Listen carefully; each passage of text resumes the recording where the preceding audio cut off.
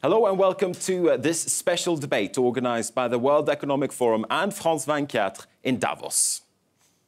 It's been established that uh, 2014 was the world's warmest year on record. On its own, it may not prove that the climate is changing, but what if I tell you that the top three warmest years throughout recorded history have all happened in the past decade? Scientists say it's evidence that the climate is changing, and they say humanity is responsible by pumping greenhouse gases into the atmosphere. Without radical action, there are warnings the globe is heading for a climate disaster. World leaders will be gathering in Paris at the end of this year to avert it. Each country will bring their individual contributions to the negotiating table, which will then be baked into a worldwide agreement. But will this bottom up approach actually work? In this debate, with a little over 10 months to go before Paris, we're asking how a comprehensive global climate deal can be achieved and how to make it stronger. From Kyoto to Copenhagen, via Lima and onwards to Paris, the history of international climate talks have had stops and starts.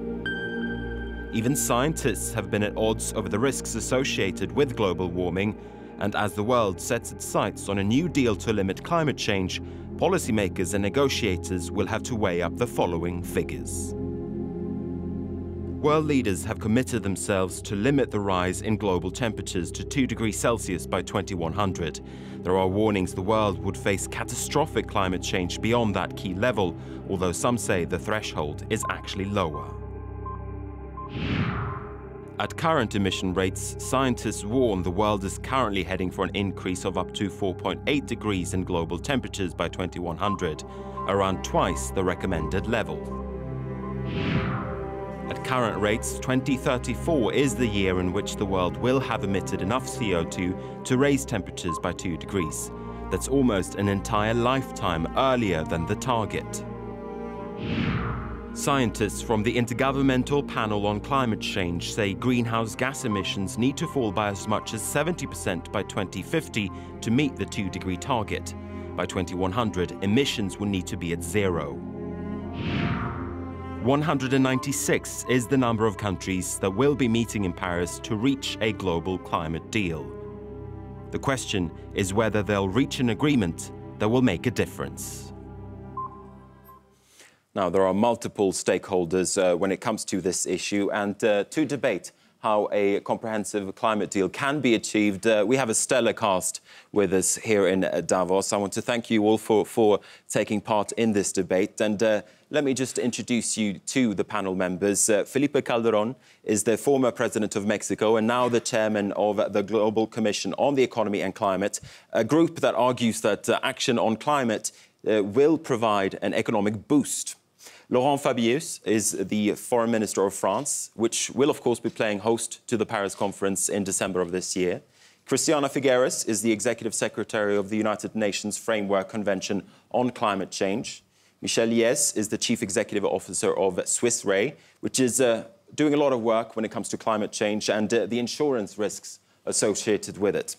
Feike Sijbesma is the chairman and chief executive officer of Royal DSM. He's a strong voice within business for a transition away from fossil fuels and uh, for a uh, global carbon pricing framework. Thank you once again to, to all five of you.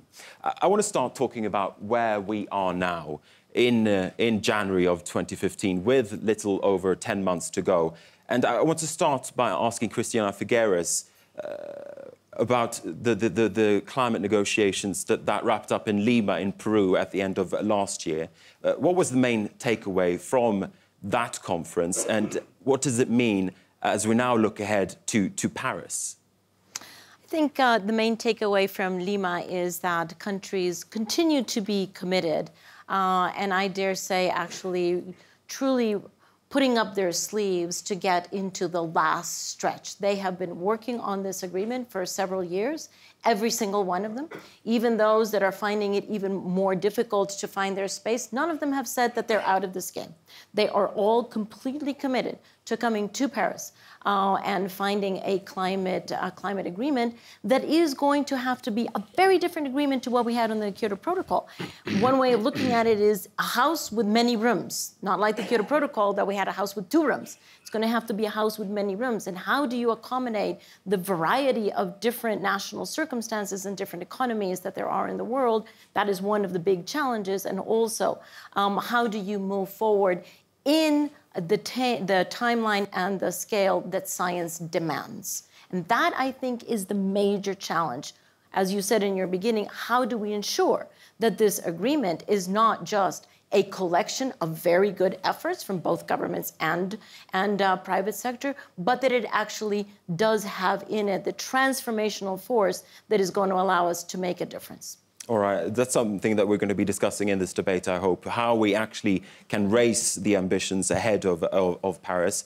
Uh, before we start, though, uh, in earnest with that conversation, I want to ask uh, Laurent Fabius uh, about something called the Paris Alliance. The European Union has called for, for this thing called the Paris Alliance. Basically, the European Union wants to build a consensus uh, around a climate deal. Do you think that this consensus is building now from, from your perspective?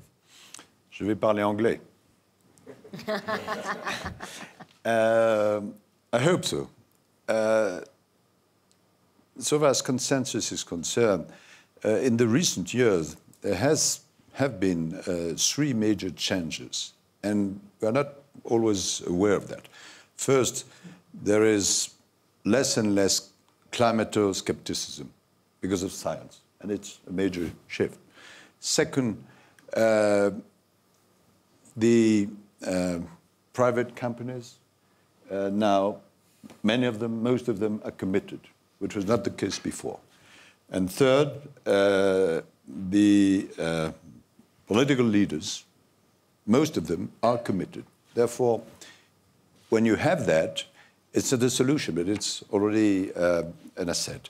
Now, what are we expecting for Paris? Uh, four things, which are very difficult to achieve because uh, consensus is necessary. 196 parties. First, we have, and that the basic element, to uh, reach a new legal framework for after 2020. It's the so-called uh, legally binding agreement, A. B, uh, before Paris, every single nation will deliver uh, its national commitment, uh, which uh, will set what are its ambitions and goals uh, so far as, as uh, gas emissions are concerned. Therefore, we shall have a sort of addition. Three, uh, nothing is possible if we don't have uh, financing. the figures are very high, but we have in parallel to Paris to be able to say, well, ladies and gentlemen, these figures will be available. And fourth, and it's the point uh, which we, you were touching, uh, we have decided uh, in Lima uh, to um, deliver a Lima Paris Action Agenda. What does it mean? It means that not the government, but uh, the local authorities, businesses, public and private investors, uh, international financial institution and others, uh, they will uh, deliver elements to um, foster the transition to a low carbon and climate resilient economy. And these four elements are the basis for a success in Paris. Felipe Calderon, you, you have an experience of international negotiations as the former president of, of Mexico. From your perspective, what stands in the way now as I say, in January 2015 of a comprehensive uh, climate deal in Paris. What, what, what needs to be resolved in the months looking ahead? Well, one thing is what Minister Fabius is saying in the sense that uh, uh, money is required to finance the change. But beyond that, there is another big obstacle, in my opinion, and it is the general perception that to taking action on climate change implies huge economic costs either for governments, for people, for companies. And for that reason, uh, people, companies, and government just they don't like to take action. It's expensive, or it sounds to be expensive. But the good news is, uh, according with the report we produced, the new climate economy, on the Global Commission on the Economy and Climate, in which Michel and myself are members, Professor Lord Nicholas Stern here present is co-chairman, we are, we research and we demonstrated that it is possible to have economic growth, job creation, poverty reduction, and at the same time to tackle climate change. Mm -hmm. But the condition is that we need to take very brave actions, very bold decisions, smart choices to change three big systems uh, cities, energy, and land uses.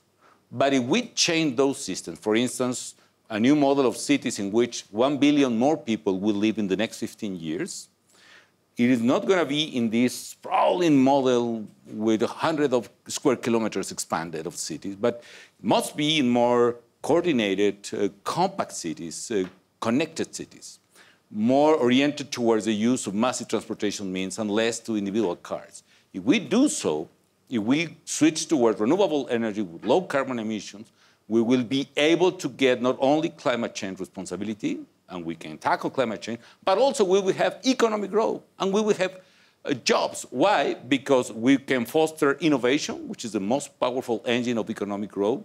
We will foster the efficiency of natural resources beyond the efficiency of capital, labor, for instance, which is the traditional speech of economists and we can increase at the same time uh, technology and an investment in infrastructure. And let me finish with this. Mm -hmm. If we follow this current model of high intensive carbon emission, we will spend roughly $90 trillion in infrastructure. Well, if we invest in the other model, the new climate economy, we will invest roughly $90 trillion as well. So if we are going to spend such amount of money, let's do the right thing in the new model. But we need to demonstrate that you cannot, you should not be afraid that you are not going to hurt the economic growth doing the right things. Michel, yes, Swiss Re advises countries and also sub-state actors on how to mitigate climate change and also what the potential costs of, of climate change could be. Uh, what kind of sense do you get from the clients that you have? What kind of sense of urgency do you get from, from, the, from the governmental side? Uh, do countries understand the risks and are they willing to act to, to, to mitigate them? No, they definitively understand the risk. I think uh, there, there is a, a, good understanding about what we are, we are facing. Um, uh, to be honest, we as an industry, we don't need to be motivated to address also these kind of issues because we, we don't insure climate change. Let's be clear. It's not something that can be insured because that would be a fantastic solution. then you can close everything and uh, the insurance are taking the burden. And you, we, you, could go bust, essentially. That's what you're exactly. saying. Exactly. But the, the world. but we, we insure the, the consequence of that. And uh, what is extremely important in the debate that we have these countries is also to put a price tag on the consequences of the decisions which are taken or the decisions which are not taken. And that definitively brings the debate to a level which is an interesting one. Then comes the famous debate in which we need to find a, a compromise, if I may say, between some of the consequences, which are, you know, a catastrophe which may happen each 10 years, each 15 years, and the democratic rhythm in a country in which the elections are happening each four years or each six years. And, and we need to, to, to bring the people to understand that these two horizons are compatible if you want to address really the future challenge of this planet. But the main contribution that we bring in the debate is the price tag that we put on the, on the table uh, about decision. And we are, I would say, credible enough to be quite neutral in the scientific debate that the price tag is, is not too much discussed. And I think that brings the debate to something which is interesting. And if I may conclude on, on something else. That's the, the liability side of the insurance industry. You may know that we have also assets which are covering the liability. And these assets are enormous. And they are uh, often of any kind of opportunities currently, to be honest, because of the low yield environment. And as President Calderon said, we need to invest in infrastructure. There is a fantastic match between the assets of the insurance sector and the infrastructure need and let's make sure that the rules of the game correspond to what I would say are the political intention in that respect. Because I think that's also a way in which our industry can contribute. So not only on the liability side, but also on the asset side by helping this planet to uh, invest strongly in infrastructure. Uh, Sijbesma, I want to turn to you next. We heard from Minister Fabius that he at least believes that companies uh, uh, and multinationals, for instance, are becoming more aware of this climate change uh, issue and the need to do something about it. Is that your reading as well within the business community? Are businesses now more aware of the climate change risks? Well, this is a very good question you ask, and I'm wondering also at this very moment what this audience and what the viewers of the television program are thinking.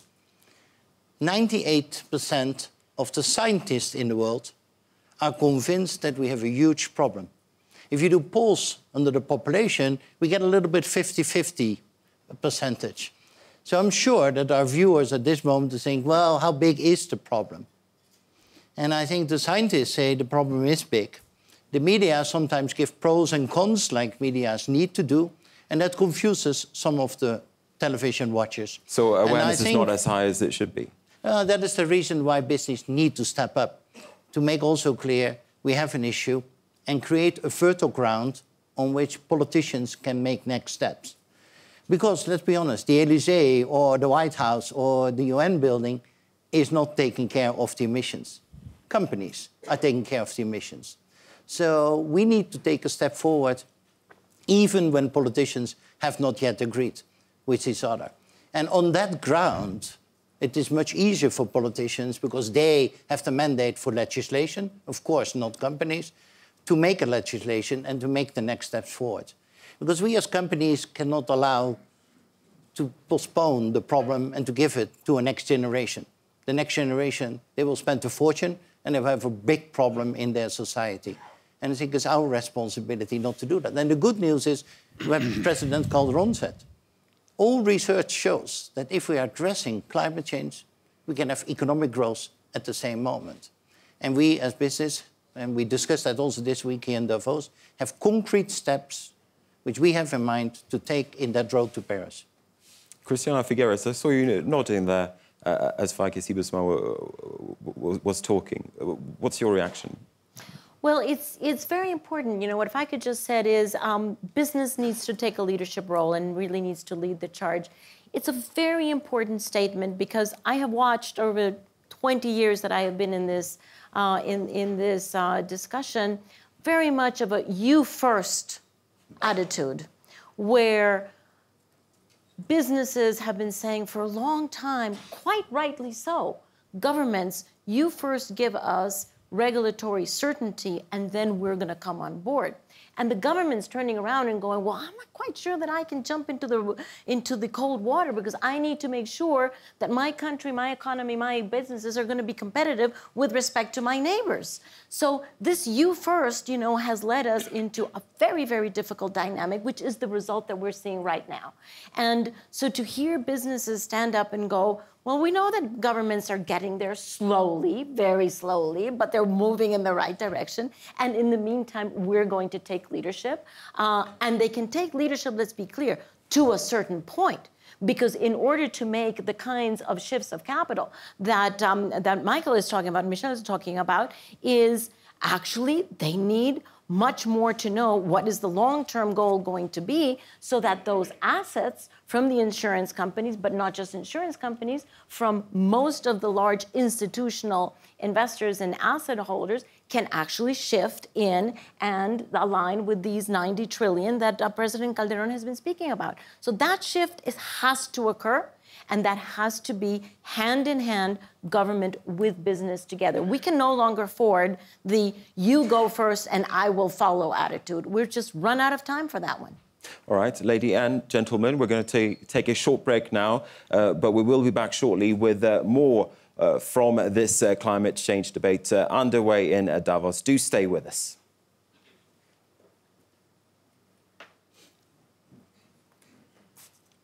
Time to take a sip of water. That's uh, water. Water is water here. Fantastico. Is that yours? Is this la mía, no? Yeah. Yo creo que es la tuya. Luego lo tiene del otro lado. Other side for you. You want some? Ah, yes. Can I give you water? Yes, dear. Yeah.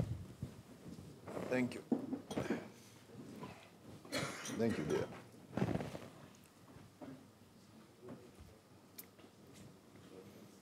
There we go. Everyone's hydrated. Yeah, a little bit. They say that, mar- uh, that Davos is a marathon, and we should keep hydrated considering that. Okay.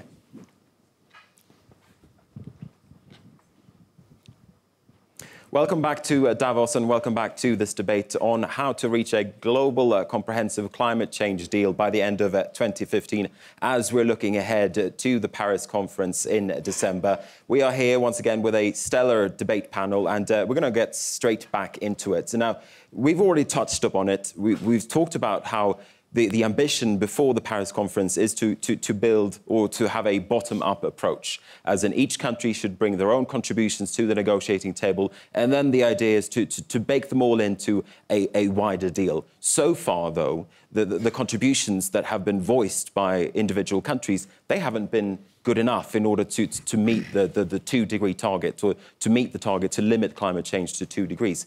So my question to, to, to, the panel is, how do you raise ambitions and how do you encourage countries to be braver and to be bolder? Uh, Laurent Fabius, I want to ask, ask you, as, as the host of, uh, of COP21, uh, first, what are your thoughts? Uh, first, I, I, think that the, the companies and, and more generally the civil society can help. Because if they are convinced that it is a necessity, uh, the politicians uh, will have to deliver and the decision in Paris will be taken by politicians because people will vote. That's the first uh, thing. Second, uh, as uh, we've said uh, a few moments ago, uh, every single country will have to uh, put its own contribution. Already we know that some countries or continents are um, in the vanguard. For instance, Europe has taken in October uh, decision, which is good, which is in line with uh, the ambition we can have. There are new elements. The agreement which has been passed before uh, between US uh, and China is quite new. Obviously, when calculation will be made, we shall see if it is enough. But it's brand new if we compare with, with what was the situation a few years ago. And my understanding is that when everybody will have put publicly uh, its own um, um, contribution, there will be expertise, uh, there will be calculation, which will be made by different elements. Uh, yourself, uh, Christina, you will have to make expertise. And, and then we shall see exactly where we are. And it will be, you know, Paris, it's not only the end of something, it's the beginning of something, a new impetus. And I think it will not uh, be uh, done uh, within one minute. But it's a major shift and it's a beginning of um, an, a new awareness. Uh, President Calderon, you've, you've been speaking uh, about the economic argument to, to reach a, a, climate change deal. How do, you, uh, how do you persuade countries, though, that they need to get on board with those ideas? And, and do you think that that argument that you presented before will, will be enough? The point is the argument we have so far have not been enough. In the sense, talking about the consequences of climate change, it is really bold, but it has not been enough in order to mobilize people and governments and decisions. If I talk to the people in France and remember them, the heat wave some years ago that killed thousands of people in France, especially old elder people, and talk about the extreme events related with weather, in Philippines, uh, the typhoon killed more than 6,000 people. So the extreme events are present. Are those events uh, uh, bold enough to persuade people? Maybe yes, with some minutes, some moments. And then the government say, well, me as president, me as prime minister, I have elections in two years, and these guys are talking about weather in 50 years. Well, mm -hmm. just pass the ball, pass the ball to the next one.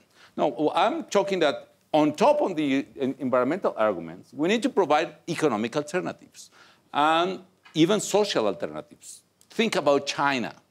China, by tradition, was a very difficult country in order to get the Chinese people into the table, to the table. However, it is clear, for instance, the air pollution in Beijing, which, according with the climate report, new climate economy report, caused thousands of people with uh, diseases and uh, premature deaths, for instance, and economic damages. More than 11% of the GDP in Beijing is, lose, is lost by, by this kind of uh, premature deaths. Well, these kind of phenomena associated with climate are moving and pressing probably decision makers in China to get the right direction. And this agreement between China and the United States is completely new in the landscape. Now, mm. China needs alternatives, for instance, to phase out the coal, the production with coal uh, with renewable and need support to recover forestry and need support for a lot of things. And if I talk about China, I'm talking about sub-Saharan African countries. They need economic support and they can provide, for instance, uh, process to recover the, the landscape or the forestry there, as long we can build an agreement in which there is an exchange and negotiations in which, yes, I establish a commitment, as a less developing developed uh, country, but at the same time receive some kind of support. Middle countries like Mexico or Brazil or Indonesia, we can do things, we must do things. And actually, we, we have done. In Mexico, we established the first law that establishing mandatory goals for climate change and carbon emission reductions, and Mexico could improve. Renewable energy is providing new alternatives for the people. Companies, even in the mining sector, companies are switching towards uh, solar energy, and solar energy is providing energy for mining companies 40% cheaper than the traditional utility. So my point is, there are huge economic opportunities. Only, for instance, energy efficiency. Energy efficiency will fix more than half of the change we need to, to do in energy. And renewable. Renewable is 80% cheaper than eight years ago, especially solar. So the opportunities are there economic opportunities. If we can manage the environmental arguments, but on top of that, the economic opportunities, decision makers would say, well, it's not exactly a sacrifice. Actually, business community here in Davos, instead of thinking, how can I make more profits, which is valid, it's licit, we can say, you can make money if you jump into the new economy, if the government take the right public policy decisions. Feike Sijbesma, do you think that businesses are uh, are, are, ready to listen to that? Are, are, they willing to listen to that? Do, do they get that message? Well, let me even go a step further and put the ball in the middle so that the politicians in December uh, in Paris uh, can make a next step. I think we need to continue with awareness. And politicians need awareness by their voters because otherwise the politicians come in a difficult situation. That's one. Second thing, I think, and as companies, we are uh, advocating that we need a price on carbon. We need a price on carbon preferentially in the whole world. And there might be local differences, but we need to have a price on carbon. And with the, today's oil price, which is lower, that is very relevant. Uh, because what is competitive in technology is not only what is competitive, but it's also a matter of convention. We had one time in history that we did not pay for labor. It's called slavery. And we changed the convention. And we need to change the convention also that we need to pay for pollution and that carbon has a price. That's the second point. The third point, and as companies we are saying that, a price on carbon, even with a floor. And that is an offer we can do as companies to the politicians. Now you need to make legislation, but we even, as a set of companies, said that is a wise thing to do.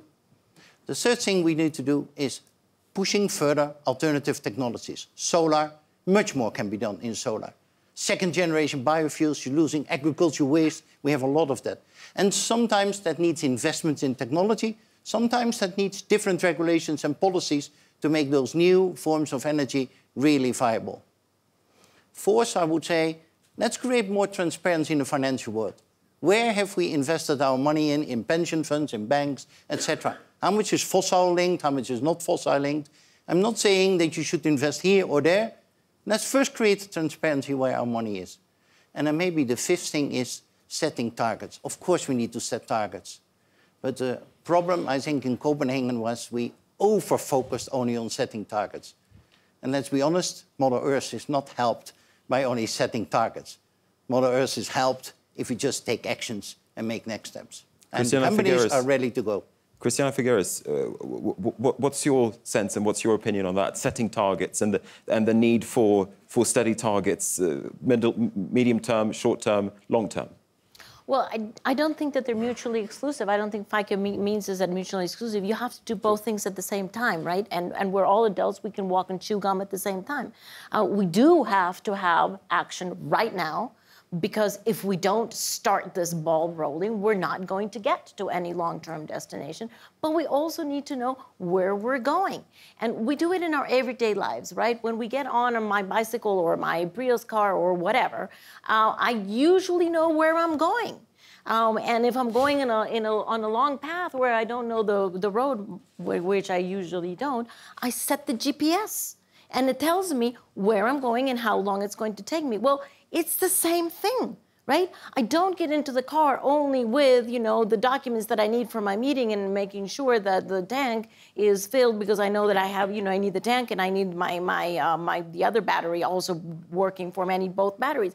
But you have to get into the car with both things. You have to get in with your action that you have right now as well as knowing where you're going, how long it's going to take you, right. and how much is it going to cost you. And then, and then if you know all of that, then as governments, because the governments will have to set all that scenario up, then governments should actually stand away, just set the right incentives, and let the private sector get us to the final destination in the most effective way. My, my greatest story about this is New York. I was in New York uh, at the uh, Secretary General's uh, summit uh, a couple of months ago. And for those of you who were there, you know it is absolutely crazy traffic. So I put myself in the middle of the street uh, endangering my life because I was desperate for a taxi. Finally, get a taxi, jump into the taxi, uh, and I'm, you know, struggling to figure out where I'm going. I don't have my documents on me. And, he, and she goes, Madam, where are you going? And I said, Well, you know, I'm sorry, I'll, I'll figure out in a minute, but I know I'm going uptown. Can you start going uptown? And he turns around to me and he goes, Lady, tell me exactly where you're going, and I will get you there faster and cheaper for you. Well, that's a lesson from the universe, isn't it? That's what we need to know. We have to get into the car, but we also need to know where we're going. So the two things need to go hand in hand, and that is what's going to allow us the efficiency and the technology development and the cost efficiency to get us there. I just want to back the tape a little bit. Feike Sijbesma also talked about the, the, the need from the business perspective of a global framework when it comes to carbon pricing. Uh, we can talk for a very long time indeed exactly how a carbon pricing model would look like, and we don't have enough time to do that in this debate. I still want to ask, though, uh, Laurent Fabius, do you think that there will be a global framework for, for, for carbon pricing as part of the, of the Paris deal, or, or, or is that just wishful thinking? I will have a diplomatic answer. I'm not sure it will be done uh, in Paris. But I think that uh, it's uh, absolute necessity, and we have to explain and to show by uh, experience that it works. Uh, not only in um, some companies or some economic sectors, but in some regions. You have regions uh, where they apply that. There can be some differences, but uh, step by step, we have to go into the direction. Uh, and I will um, completely uh, admit the, the, story of the taxi uh, with Christiana, knowing that we have to take an electric taxi. Yes. remember. Uh, no, no, it's, it's part and parcel of the necessity, carbon pricing. There is another uh, necessity, another actor, which is very important, which is not represented here, it's our local authorities everywhere, because are, uh, companies are very important, governments are important because they vote, but uh, many and maybe most of the decisions in this sector will be taken by the local authority, regions, towns, and, and we have to uh, push them to go into the direction. Michel, yes. What are your thoughts? Well, you know, there is probably a lot of goodwill, and we, we all agree. That's probably, by the way, the problem of a debate where everybody agrees. So uh, there's not a lot of debate. We, we discuss about the methods. There is something in which uh, we, we have a, an interesting experience. It's the, the reinsurance of natural catastrophe. We perfectly know that not all natural catastrophe are consequences of climate change. An earthquake is not a consequence of climate change. But what, what is interesting and a little bit sad to observe, and that's probably one of the reasons of the awareness also, is that three quarters of the large catastrophe which happen on this planet are simply uninsured. They, they, they are not known by the financial sector. So there is not an awareness about what is happening. And uh, I must say the visibility of the country would do take the responsibility to assume financially what may be the consequences of natural catastrophe, which are very often, if it's drought, if it's floods, consequence of climate change, the visibility of the goodwill of these countries is, in my view, too low. Mexico is one of the first countries we decided at government level to take an insurance about their own infrastructure and their own people if something is going badly. It's earthquake and, uh, and wind. But I believe that a piece of pressure would make sense. And in all fairness, I believe that something which will go in a little bit like what the rating agencies are doing in matters of financial solidity of the countries. If something would happen in the same sense about awareness and financial readiness on how to deal with these kind of extreme events, country by country, I believe it would improve the visibility of the countries which show goodwill. And uh, without that, you know, without kind of pressure, and it can be peers pressure, I, uh, I believe it would be a bit too easy for us, for the business, to pass the baby to, to the political level and to simply say, okay, try to agree on something on which actually we do follow your good intentions, but we expect you to give us more or less the, the rules. So a kind of peers pressure at political level between countries wouldn't be, wouldn't be too bad. Mm. Felipe Calderón. By the way, uh, ladies and gentlemen, we're going to start taking questions in a, in a moment or so, but I still want to, to, to, to gauge your view on, on, what we just, on what we just heard from uh, Michel Liès. Uh, the, point is, the point is this. Carbon tax or any way to price carbon must be an economic signal to the players, regardless the amount of money you can raise, regardless if the tax is a net tax or it's a neutral one meaning that you can put the carbon tax and withdraw other kind of taxes, for instance, labor tax. But anyway, the point is the society and the investors need clear economic signals, and we have not yet such kind of signals. In the moment in which the governments establish clear signals saying we are going to follow this low carbon pathway, in that moment, a lot of investors will jump into the new economy because currently, in this uncertainty, they are only following a strategy of wait and see. They are seated in defense, if I can say that. And we need to mobilize, checking them, in order to jump into the field. And the only way to do that is to produce certainty coming from the government. Meanwhile, for instance, an energy company will invest in green economy, renewables, Um, and will try to hedge his, its money and will invest in gray, in gray economies as well. And that will increase the cost of financing such kind of investment. It's going to delay the decisions in the company. It's going to increase the cost for everyone. So we need to decide one way. You know, in the future, this will be the economy. By the half of, the, of this century, I'm very sure I can bet the economy will move towards low carbon path. But the problem is if we do so too late, it's going to be honestly too late for the planet. If we don't act in the next 10 years, it's going to be too late.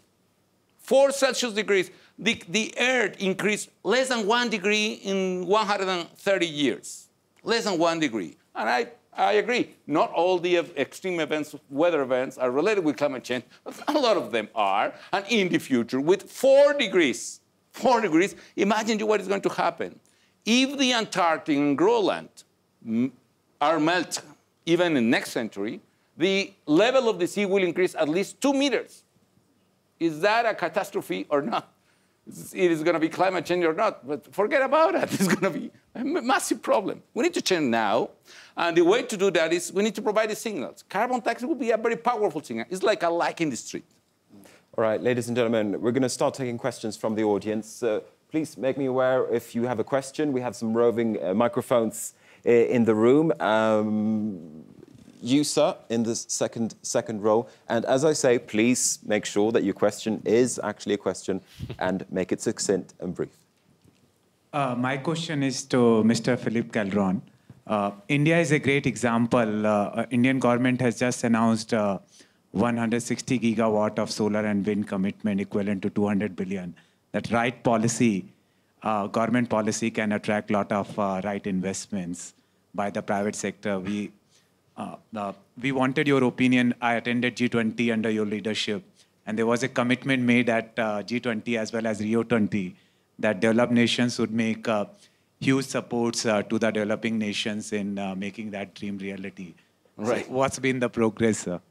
Well, that is important, but a good question. But Prime Minister Modi, if I understand, he talked about he was dreaming to establish solar cells in each single house in India, in the poorest family, and that's fantastic. But thinking in India, for instance, in India made one big change. When I was a child, a symbol of progress is to have one fixed telephone line in each home. Mexico had never one single fixed line in each house. India either. But there is no sense. Technology make this big change, and it's completely unnecessary. Any single home has a mobile phone. And that could happen with electricity, for instance. Do we need these very expensive and polluting transmission grid, grills? Or we can provide electricity coming from each single poor house in India through solar panels. It's completely feasible. It's affordable. It's convenient. It's profitable if you have a company want to make business, don't jump into oil business because it's a risky business these days. Hmm? jump into renewable businesses and go to, to, India and get supported from the government and international community, as you were saying. OK, next question. Uh, in the third row, the gentleman. Uh, Lars Josefsson. Uh, do you think the current oil price is a blessing or is it really a problem? Who, who, who is your question directed at? The entire panel. Who, who feels the need to, to answer that question? Feike. Of course, the current oil price uh, makes it for renewables um, less, less competitive uh, at once in half a year time. Therefore, a carbon pricing, I think, is the right moment. Uh, and what you see now is uh, in this movement, of oil prices and development of technology. And as I said already, new technologies need to be stimulated, sometimes by technology development, sometimes by policies. And what we see here, target setting is important. We need to move forward, like Christiana is saying. But companies are willing now to step up. And I would only say, is this not a present for the politicians? And imagine you let this moment go and you do not make a deal in December is that not a great opportunity we miss and we let go? And is it not a responsibility for all of us to do that? And companies are willing to commit themselves. I would say, don't waste that moment. Christiana Figueres? Um, you know, I've thought a lot about this, uh, this oil prices, and I think it's both a threat and an opportunity. It, it is a threat because of what Feike has said that some some of the renewable energy projects that are not completely bedded down because they don't have a signed PPA or because they don't have the investor group that is already completely committed to it are certainly being delayed. At the same time, at the same time, the low oil price, what it has done is it's already beginning to take off the market all of the very, very expensive oil projects. So just in the past three to four weeks, we have four projects, very expensive projects, whose concession has been returned by the, uh, by the oil and gas companies to Greenland because they are no longer feasible. So you're already beginning to see that the expensive oil exploration, which is deep sea, Antarctic, tar sands, all of those, that whole category, uh, which is what we call the stranded asset argument, is already no longer theory, but is actually already reality, right? So those, those assets are already beginning to be taken off the table, which is very good for climate. Um, and it's very good because it opens more space for renewables. At the same time, all of those renewable projects that actually do have their, their financials already bedded down are moving forward. The amazing thing is that the renewable energy industry, certainly the solar and certainly the, the wind, are now so, um, so mature that they are standing on their own two feet, despite the fact that oil is currently temporarily low but will go back up. And so I completely agree with Feike. This is a fantastic opportunity to take this oil, these, these, these moments of oil, low oil prices and do a couple of things. Remove fossil fuel subsidies. Nobody would notice it right now. This is the moment to do it. This is totally the moment to do it.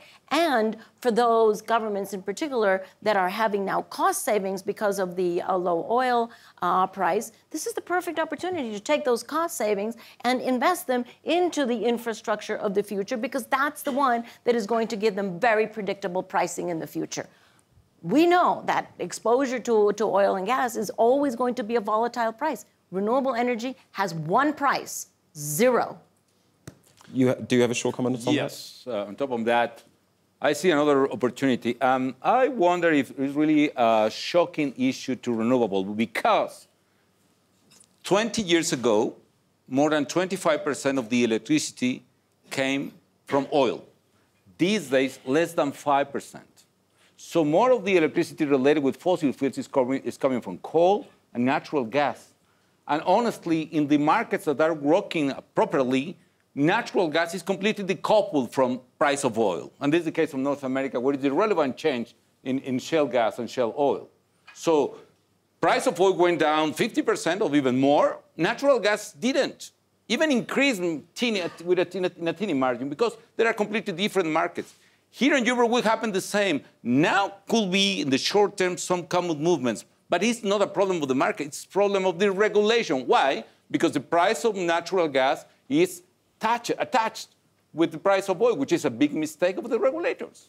Honestly, it's going to be the couple, and the impact in renewable will be lesser than, than you are expecting, honestly, on top of the opportunity that you are talking about. All right, let's take one more question uh, in the front row. The...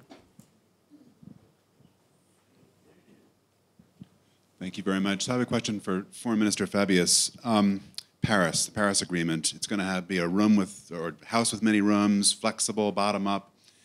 How do we know that the agreement actually does something beyond what countries are going to do anyway? How are we going to know that? How are we going to convince the public that this huge effort is actually delivering value added? Well, I think uh, first, uh, if and when uh, we can have legally binding agreement. It is in line with the maximum uh, two degrees. And therefore, if you compare that with the business as usual uh, rhythm, it will be an advantage, first. Second, and it's a tricky subject, but an important one, when Paris takes place, we shall have a rough idea about the addition of uh, the national contributions. And we shall know where we are. And uh, my understanding is that if we are up compared to the two degrees, there will take place a necessary reaction, necessary mechanism in order, maybe not right now, but step by step, to get back to the two degrees. Third, uh, I rely, we rely on uh, the actions taken by companies, taken by region, taken by local authorities, and uh, new technologies being brought uh, for this opportunity. Therefore, all in all, in all, uh, all that will uh, bring something.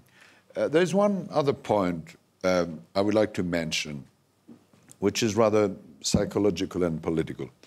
Uh, we have to show that the climate change, I prefer to call that climate disruption, because, uh, you know, change, sometimes it's viewed positively. If you say to uh, somebody uh, in the northern part of France that there will be a climate change, he thinks that he will live in Côte d'Azur. And, and therefore, well, it's the reality, it's climate disruption. Uh, but the climate disruption, it's not for uh, 2100, it's for right now. We have to explain to people, and they're aware of that, that it's right now. What you said about uh, Beijing, it's, it's, it's reality. I have inaugurated a few months ago a lycée, a school in Beijing, and I will always have that in my eyes. We were uh, here uh, with the officials, delivering beautiful speeches. And uh, the children who were in front of us, all of them wore a mask. And you know, this sort of climax, it was so, and therefore it's for now. We have the solutions, technical, hopefully financial, and it will help growth if we are able to convince people. Michel Liès, I want to ask you, do you think that we're building up expectations too much, perhaps, before the Paris meeting? It's not an easy question. No, I, uh, I don't. First, first you have you, you have to you, you have to start with expectation if you want to achieve something. If you don't want to achieve anything, definitively you can start with a kind of pessimism. What I'm a little bit afraid is that there is apparently a kind of intellectual agreement. There is probably also an emotional agreement around the table, and probably uh, what is what is concern to me is that I, have experienced that very often in Davos that you have this kind of agreement, but when it comes to it, the reality, it is more complicated. It's more political. You need to find some compromise. You know, politics is the science of the possible, and that's uh, the reason why it's also admirable because uh, it, it's not that obvious to bring 196 countries to agree. So I, um, I'm positive, definitively, but I believe that a little bit of peer pressure, as I said before, would add to the uh, positive emotion that we are showing here. I, I, don't think that everything will happen the way we want to see it happen if there is not a, a little bit of pressure. And uh, it must go be beyond awareness. It must probably go towards a kind of very official pricing of the decision that we are taking and the decision that we are not taking by people who are credible. And that will allow people to judge the consequence of, of a Paris meeting. And it's possible. But uh, I, again, I like emotion, I like ambition. I must recognize that humanity seems to react a little bit more on peer pressure than on uh, emotion. President Calderón, we don't have a lot of time left, but so I just want to get your, your, closing, your closing thoughts. Well, an agreement is a must for a human being an agreement is possible along the, uh, the French diplomacy, which is among the best diplomacy in the world, could put itself in everybody else's shoes, and that is the idea. Try to understand the less developed countries, try to understand the oil producer countries, trying to understand the middle class countries, trying to understand China, India, the United States, Canada, Europe. And if we are able to match economic, the promised land of economic growth, with the help of climate change, doing the right thing, there is a solution. It is difficult, but I hope that human being could be, could be fixed its own future. Christiana Figueres? I'm equally as, as hopeful. I, I also do not uh, under, under uh, estimate the challenges that we have ahead of us. Uh, COP president here, sitting here, we even even the French diplomatie, I think, is going to be challenged. Uh, but we are delighted to be in the hands and and uh, supporting the French diplomatie. Uh, but it really, we have to understand what we're trying to do here, right? We are trying to change the paradigm and the path that we've had for 150 years. It is not a small task. It is not a small task. Uh, and therefore, there's not going to be a silver bullet the day after we finish Paris. It's not going to be everybody standing up and clapping and saying, we've solved climate change. No, that's not the way it's going to be. But we do have to revert that. What we have to do is ensure that what is in place is going to give us reverting the tendency that we have right now, the trajectory of increasing emissions. We have to get to the point where we decrease it. That is fundamentally what we have to do. We will use carbon pricing as a very powerful tool. We will use peer pressure as a very powerful tool. We will use businesses because they have to help. We will, frankly, this is so complicated and it's so huge that we need every single piece of help that we can. But as President Calderón said, we cannot afford to not get this agreement. So I am cautiously confident, uh, but very, very encouraged by the number of people, companies, governments, financial sector, everybody who are constantly coming up and saying, We're in, what can we do to help? It's fantastic. Mm-hmm. By far, by far, the great majority want a solution because they know that A, we can't afford one, but also because they know it's the pathway toward future economic growth. So the story is only positive. What's there not to like? All right, we're going to wait and see, I suppose, in 10 months in, in, in Paris. Uh, ladies, lady and gentlemen, thank you very much once again for taking part in uh, this debate. Thank you to all of you in the audience for turning up today. I suppose we haven't debated much whether or not there is a need for a climate change deal. I think there is agreement on this stage that there is a need for a climate change deal, but to a certain extent, I suppose that is a good sign that there seems to be a, a pretty unified mass when it comes to both business and politics to, to, to reach a, a, climate change deal in Paris in uh, December. We need awareness, we need peer pressure, we need transparency for, for business so that business leaders know what's next, so to speak. We'll see if Paris manages to deliver that. Uh, I want to thank you for watching at home. Thank you for watching France 24 and stay with us.